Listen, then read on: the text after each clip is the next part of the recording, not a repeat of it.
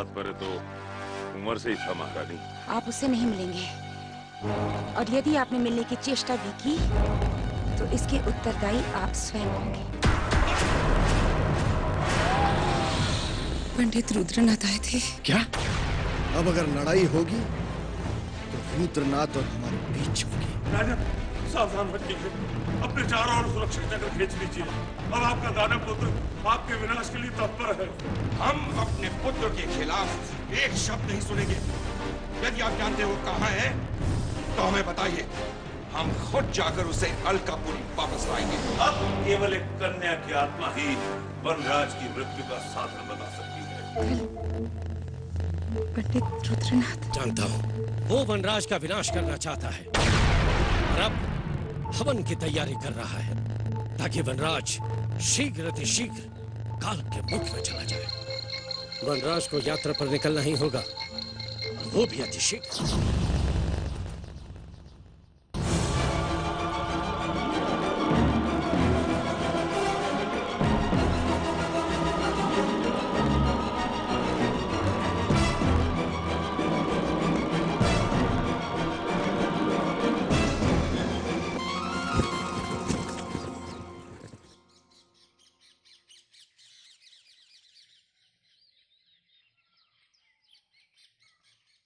देवतर बाबा? देवतर बाबा?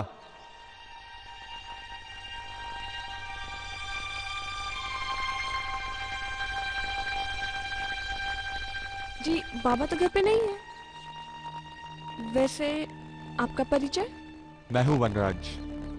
उत्तर में जो वन है वहाँ का युवराज। बाबा कब तक लौटेंगे? जी वो लौटते ही होंगे। उनके वापस आने का समय हो गया है।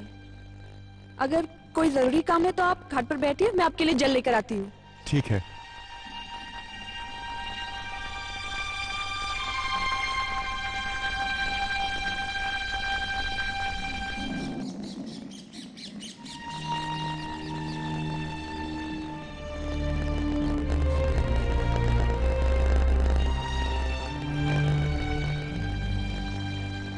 लीजिए जल ग्रहण कीजिए।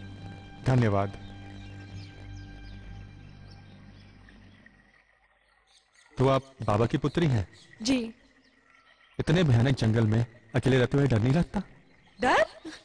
डर किस बात का? जो होना है वो तो होकर ही रहेगा। और फिर मस्तिष्क पर जो लिखा है उसे कौन टाल सकता है? तो क्या आप भी ज्योतिष विद्या जानती हैं? इतना ज्ञान तो नहीं है मगर बाबा से मैं विद्या सीख रही हूँ। हम्म वाह। तो कितनी विद्या सीख चुकी हैं आप? बस थोड़ा बहुत। बहुत अच्छी बात है। तो बताइए मेरे भाग्य में क्या लिखा है? जितना जानती हूँ उतना बताने का प्रयत्न करती हूँ।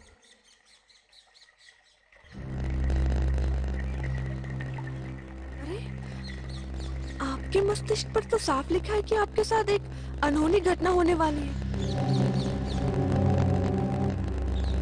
और उस घटना के कारण आप एक लंबी यात्रा पर जाने वाले हैं। और क्या लिखा है?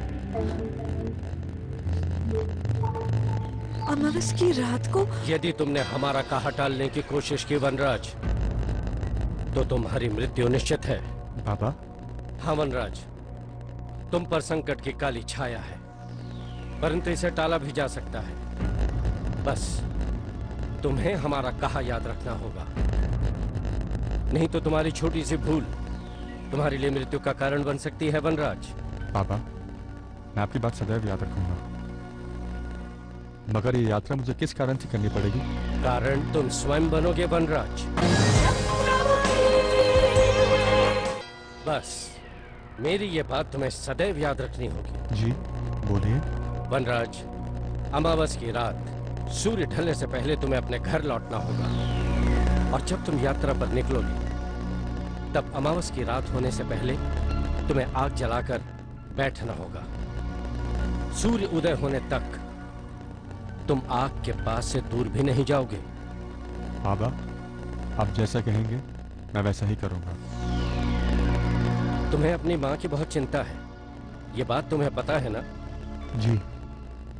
मेरी माँ मेरे लिए बहुत चिंता करती है। माँ की चिंता कैसे दूर होगी? वो मेरे बारे में हमेशा सोचती रहती है। मैंने महारानी को समझा दिया है कि तुम्हारा कोई कुछ भी नहीं बिगाड़ सकता वनराज। बस। अमावस वाली बात हमेशा याद रखना। उसे भूलना मत। जी। प्रणाम बाबा।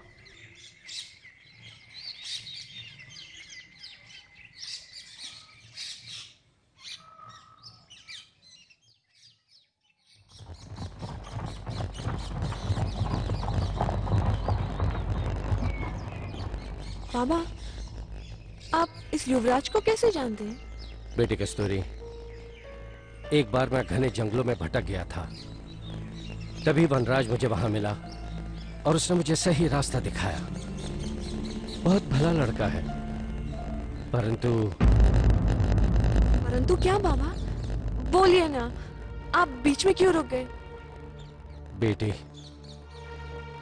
वनराज एक भयानक संकट से गुजरने वाला है। मगर बाबा वनराज के मस्तिष्क पर तो मुझे ऐसी कोई लकीरें नहीं दिखाई दी। बल्कि मैंने तो साफ़ देखा कि वो अपने बिछड़े परिवार का पुनर्मिलन करवाएगा। हाँ बेटी ये सच है। परंतु मिलन से पहले वनराज के सर पर एक भयानक संकट आएगा जो उसकी मृत्यु का कारण बनेगा। मृत्यु? हाँ बेटी मृत्यु।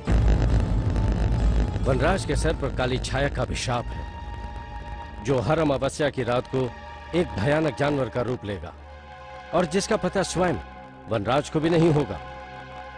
तो क्या वनराज की यात्रा रोकने का कोई उपाय नहीं? नहीं बेटी वनराज का यात्रा पर निकलना अति आवश्यक है क्योंकि वो एक ऐसे कार्य को पूर्ण करने के लिए यात्रा पर निकलेगा जिसमें उसके माता पिता के मिलने का संजोग लिखा है। और अगर वो कार्य पूर्ण नहीं कर पाया तो?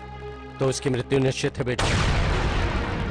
क्योंकि उसे कोई साधारण मनुष्य नहीं मार सकता। और न ही वनराज किसी प्रचलित अस्त्र शस्त्र से मारा जा सकता है। मगर बाबा ये कैसे संभव है? अगर वो साधारण व्यक्ति से और प्रचलित अस्त्रों से नहीं मारा जा सकता है तो उसे कौन कैसे मार सकता है? बेटी इस जगत में जो आया है उसे एक दिन अवश्य ही समाप्त होना है। एक विशेष खंजर से वनराज की मृत्यु हो सकती है। और उस खंजर को वनराज के सगे संबंधी बड़ी बेसब्री से तलाश कर रहे हैं।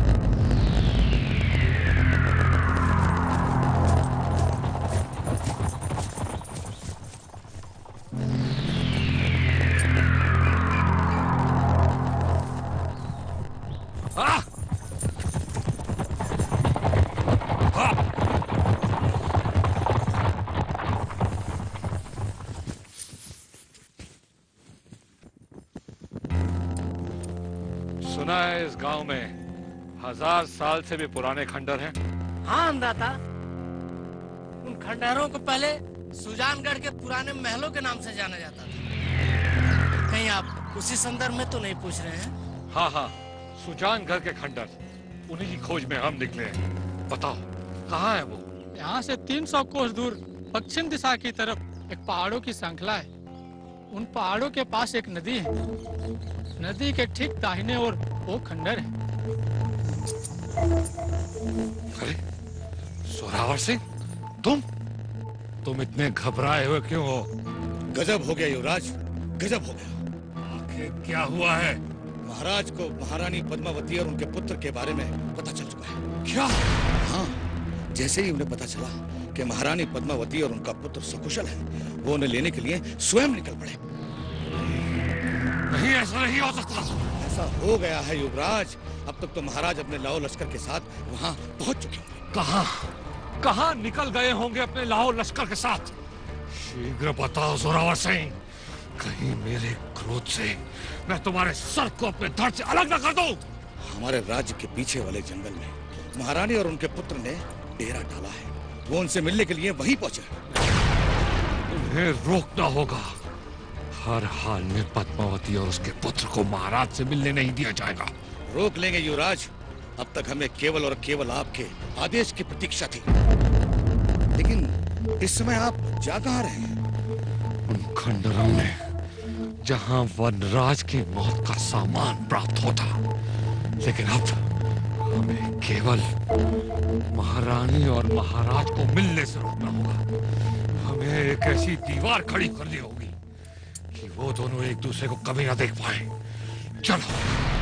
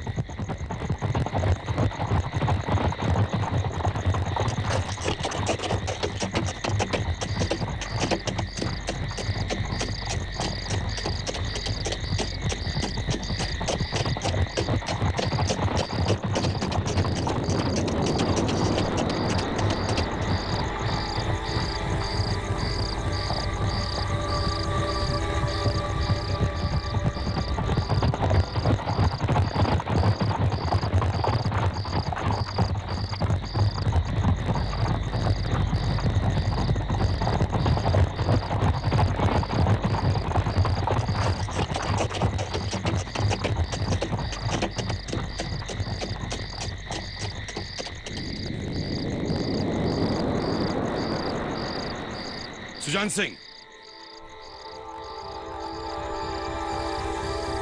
आज्ञा महाराज। रात बहुत हो चुकी है। काफिले को यहीं रोक दिया जाए। जो आज्ञा महाराज। आज की रात डेरा यहीं डाला जाएगा। और वैसे भी आज अमावस की रात है। इस अंधकार में हमारा आगे बढ़ना मुनासिब नहीं। सूरज की पहली किरण के साथ हम सीमा के उस पार प्रस्थान करेंगे। जो आज्ञा महाराज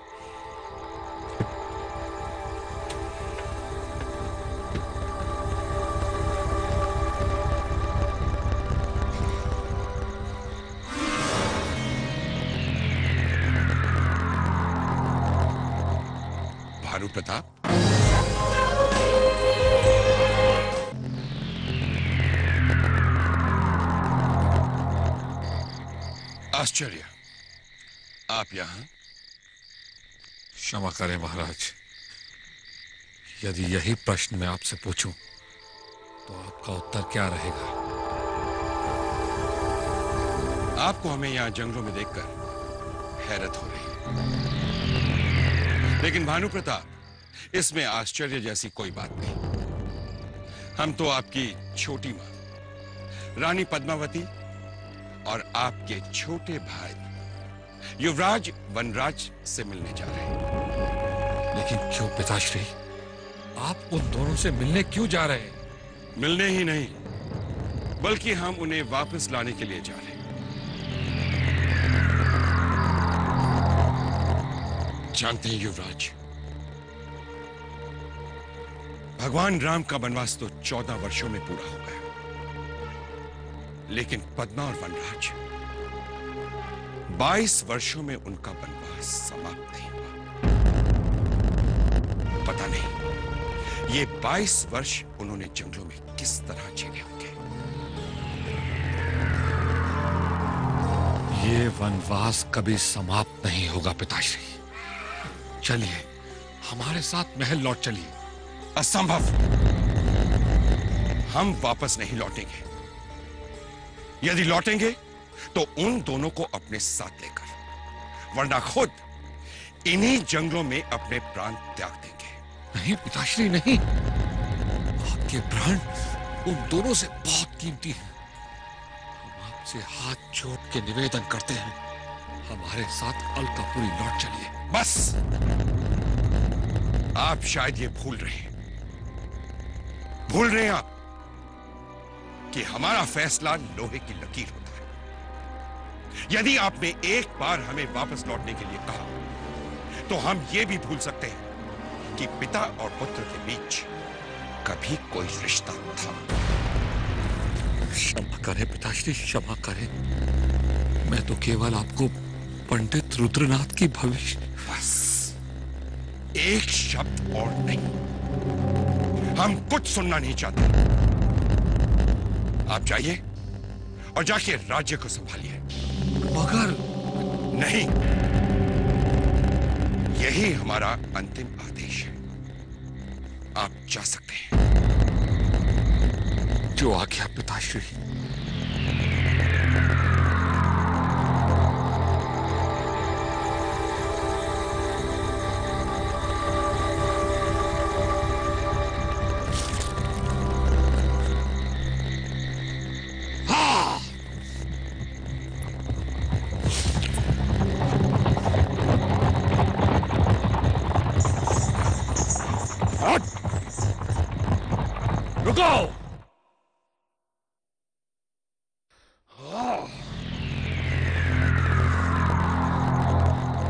महाराज ने तो अपना फैसला सुना दिया। तो क्या अलकापुरी लौट चले युवराज? युवराज नहीं! आज अभी इसी शर्त से हमें महाराज कहो महाराज! महाराज तो वहाँ खेमे में है और वो भी जीवित अवस्था में। अब वो ज़्यादा देर जीवित अवस्था में नहीं रहेंगे। इस दुनिया से उनकी विदाई का समय आ चुका है। विदाई का समय आ चुका है? मैं कुछ समझा नहीं युवराज। युवराज नहीं महाराज। क्षमा क्षमा करें क्षमा करें महाराज। विदाई का समय आ गया है लेकिन उन्हें स्वर्ग के द्वार तक छोड़ेगा कौन? स्वर्ग नहीं। नर्क कहो। हम स्वयं उन्हें नर्क भेजेंगे। हम उनका वध करेंगे वध। वध? एक पुत्र के हाथों से पिता का वध? क्यों नहीं? कुछ पाने के लिए कुछ खोना भी पड़ता है। और अलकापुरी का शासन पाने के लिए हम अपने पिता को खोने के लिए तैयार हैं। और इसके लिए हमें कोई पश्चाताप नहीं होगा। हम अपने पिता को मारकर राजा बनेंगे। अरे पिता का मोल उस राजगद्दी से बहुत कम है। हाँ हाँ महाराज हाँ। इसमें पश्चाताप की कोई बात ही नहीं है। इतिहास साक्षी है। राजा, महाराजा बनने के लिए युवराजों ने अपने पिता की बलि ली है। और बहुत से पिताओं ने अपने पुत्रों की बलि दी है। यदि आप अपने पिता की बलि ले रहे हैं तो कौन सा अनुचित कार्य कर रहे हैं? तो क्या चले जुड़े महाराजा के खेमे की ओर? भावी महाराज। चलो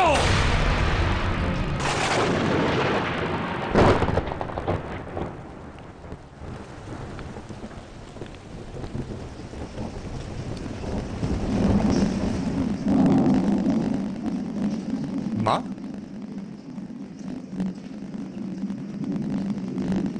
क्या बात है? घर में इतने दिए क्यों जल रहे हैं? आज कोई त्योहार है क्या? नहीं बेटा आज अमावस की काली रात है। अमावस की काली रात? तू भूल गया? मैंने तुझसे कहा था ना कि अमावस की काली रात को तू घर से बाहर नहीं निकलेगा। मुझे याद है मगर घर में इतने सारे दिए क्यों जला रखे हैं?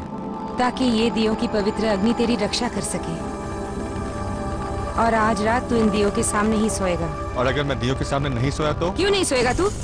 क्या तू अमावस की काली बला को अपने सर पे लेना चाहता है? अपनी माँ को जीते जी मार डालना चाहता है? तू क्रोधित मत हो माँ। मैं तो तुझे चढ़ाने के लिए कह रहा था। तू दिए चला मैं तुझे बिल्कुल परेशान नहीं करूँगा। मुझे तेरा इस तरह चिढ़ाना अच्छा नहीं लगता है। चुपचाप सो जा और अपने कक्ष से बिल्कुल बाहर नहीं निकलना। ठीक है माँ। अब तू भी विश्राम कर ले। मैं इस कक्ष से बिल्कुल बाहर नहीं निकलूँगा।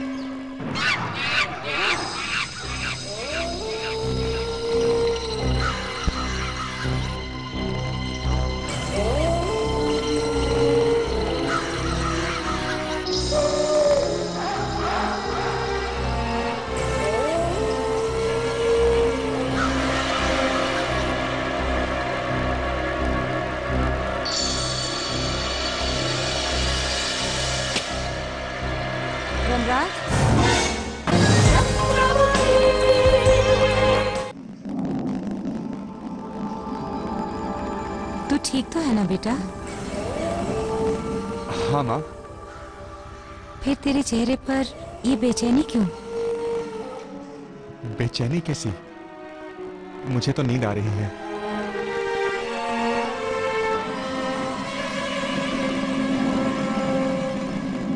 आराम से विश्राम कर। मुझे एक वचन दे। आज की रात तू घर से बाहर नहीं जाएगा। हाँ माँ। तुझे वचन देता हूँ। मैं घर से बाहर नहीं जाऊँगा। अब आराम से सो जा।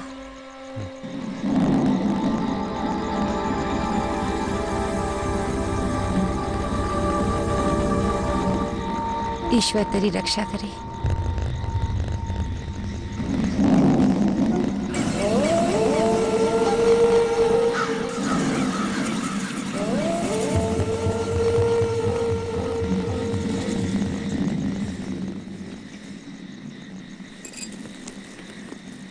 हे ईश्वर, आज फिर मेरी परीक्षा की घड़ी आई है। मैंने अपने जीवन के इतने वर्ष तेरी तपस्या में बिता दिए। बाकी बचा शेष जीवन भी तेरी चरणों में, तेरी भक्ति करते हुए बिता दूँगी। बस, मेरे वनराज की रक्षा करना उसकी खुशियों के सिवा मुझे और कुछ भी नहीं चाहिए।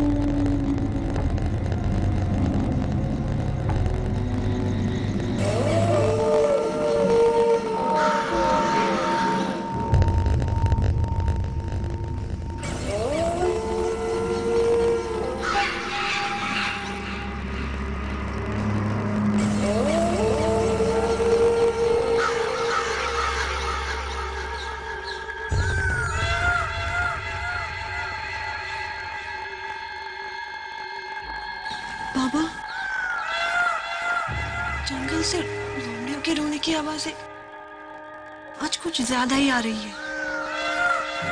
इतने ज़ोर ज़ोर से लोमड़ियों के रोने की आवाज़। पहले तो कभी नहीं सुनाई पड़ी। ये अमावस की काली रात है। ये वो भयानक रात है, जो वनराज के चित पर अपना अधिकार जमा लेगी। उसे अपने वश में कर लेगी।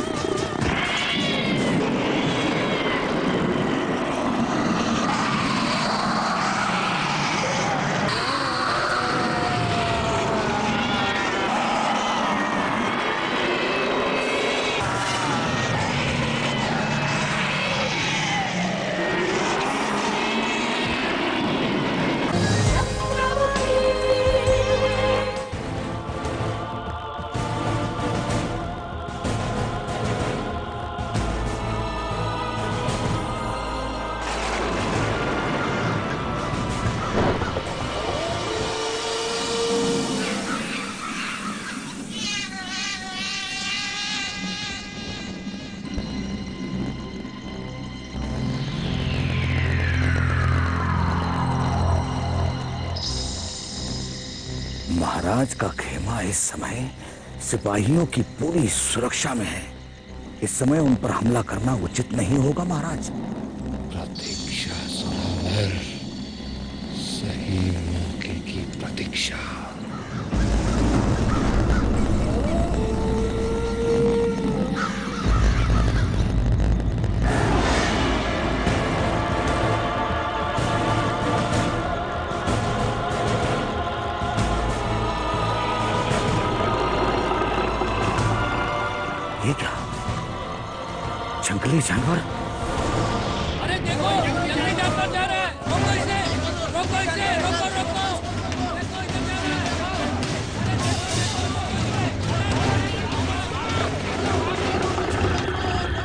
सिपाही उस जंगली जानवर के पीछे चले गए।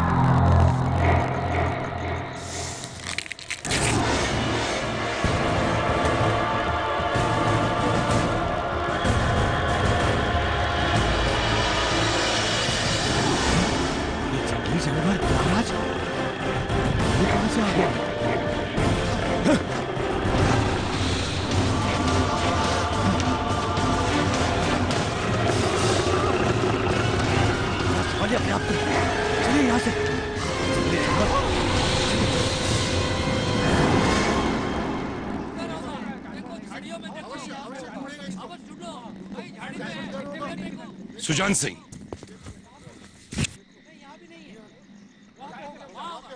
आज्ञा महाराज। ये शोर? ये शोर कैसा है?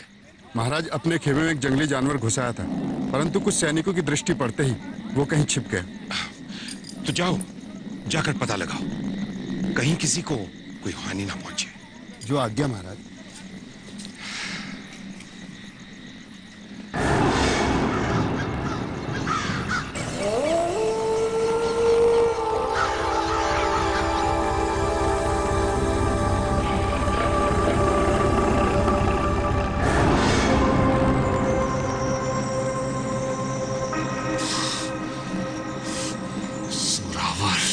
जी युवराज लगता है कि जो काम हम करने आए थे, ये जंगली जानवर पूरा करेगा। अब पिताश्री की खैर नहीं।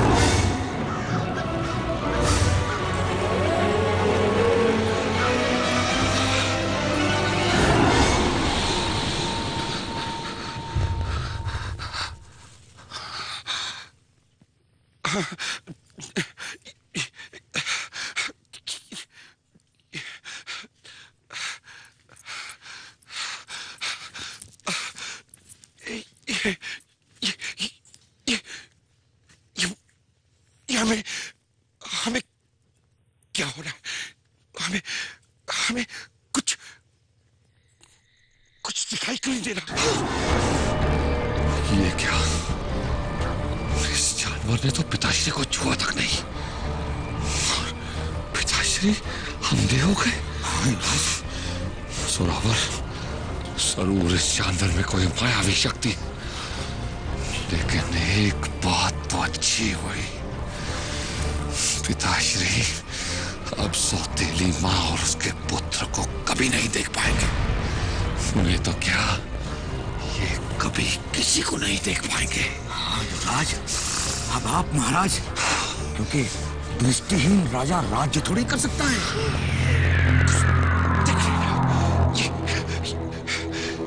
सुजान महाराज को क्या हो गया? लगता है महाराज की आँखों में जानवर ने हमला कर दिया। हमें तुरंत ही को महल होगा।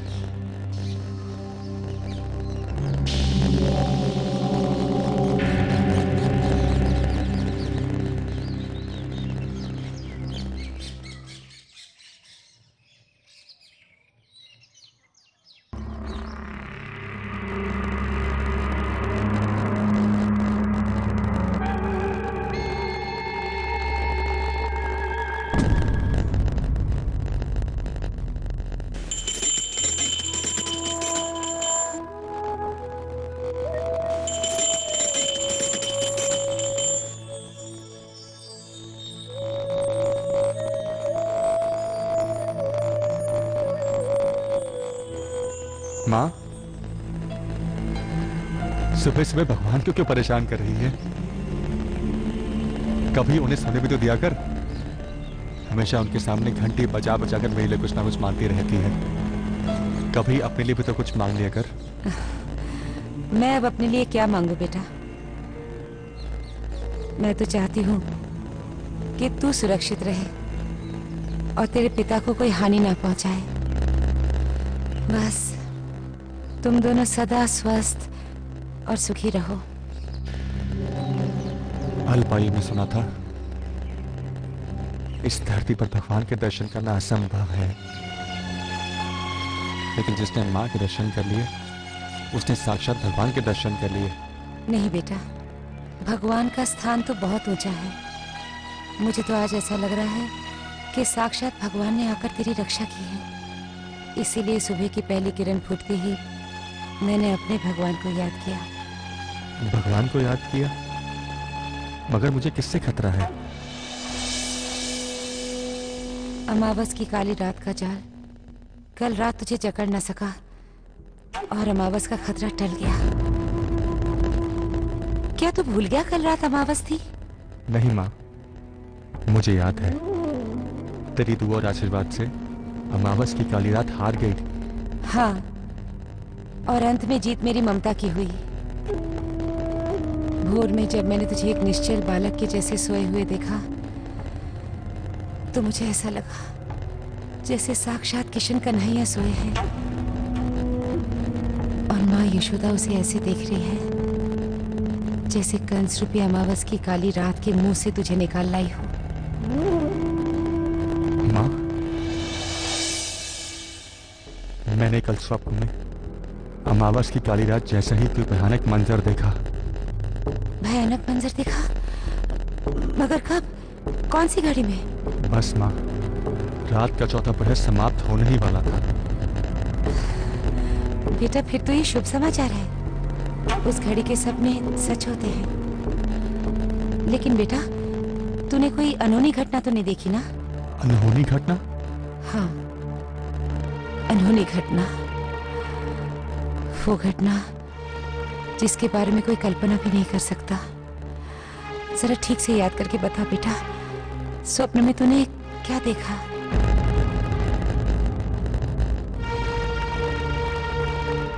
ठीक से कुछ याद तो नहीं है। धुंधला से कुछ दिखाई पड़ता है। देख तू मुझे टालने की चेष्टा मत कर।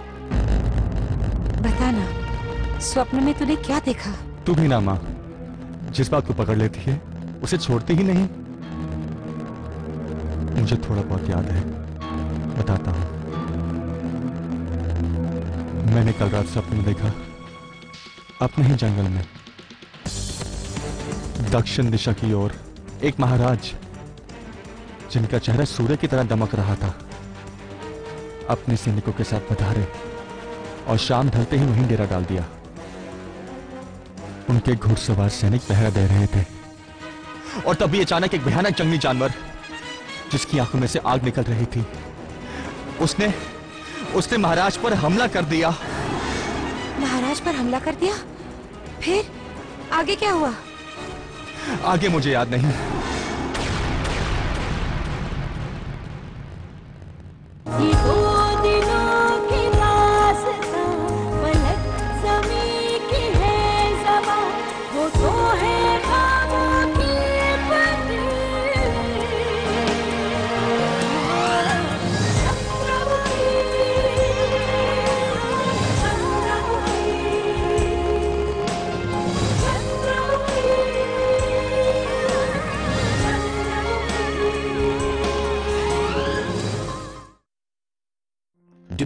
ऑफ़ साइंस एंड टेक्नोलॉजी और प्रसार भारती दूरदर्शन